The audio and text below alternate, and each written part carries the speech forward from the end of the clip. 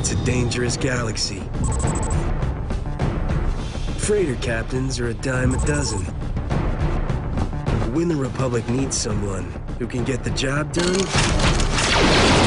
they always call me.